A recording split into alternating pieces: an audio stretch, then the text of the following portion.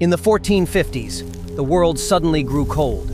Summers failed, crops withered, and famines swept across the northern hemisphere. For decades, science blamed a single, massive volcanic eruption, Kuwae, for the catastrophe. But new evidence, pulled from 100 feet beneath the Antarctic ice, proves that story is wrong. A new analysis of the VK-22 firn core has found definitive physical evidence. Scientists examined 14 microscopic glass shards from the eruption layer. Their chemical fingerprints were bimodal. One group was dacitic, a clear match for Kuwae. The other was rhyolitic, from a second unknown volcano. This second set of shards did not match Reclus, the previously suggested candidate.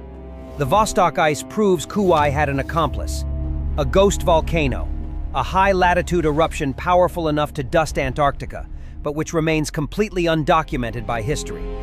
This theory is confirmed by the timeline. Ice core data reveals a unique two-stage ash deposition. Coarse ash from a nearby source arrived first, followed by the finer ash from the distant Kuwae. This pattern is absent in other major eruptions.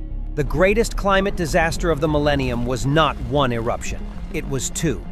Read the full investigation at Above the Norm News.